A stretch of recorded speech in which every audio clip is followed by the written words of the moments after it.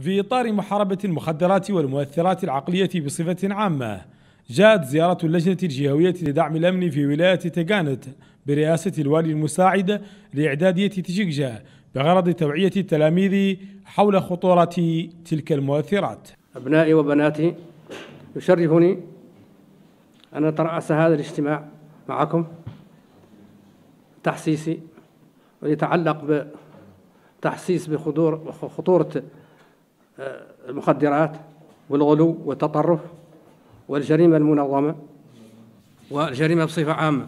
مفوض الشرطة بمدينة تيجيجا تحدث عن خطورة استعمال المخدرات وتأثيرها السلبي على تماسك المجتمعات. أهم وسائل مكافحة المخدرات والتحسيس على مستوى المؤسسات التعليمية أولا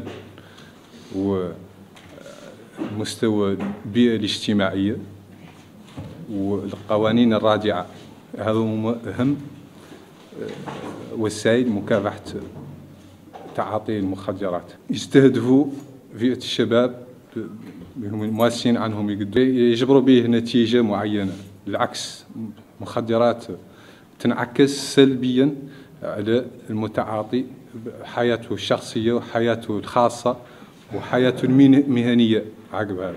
من جانبه تحدث ممثل الدرك الوطني عن النقاط التي يستهدفها مروج المخدرات مؤكدا أمام التلاميذ أهمية استحضار كونهم قادة الغد والمعول عليهم في بناء الأوطان. اعتبروا أنفسكم كتلاميذ بأنكم سفراء.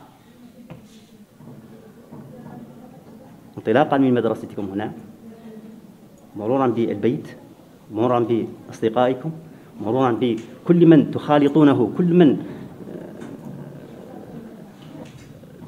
تؤثرون عليه ويؤثر عليكم. من أجل أن تكونوا حقيقة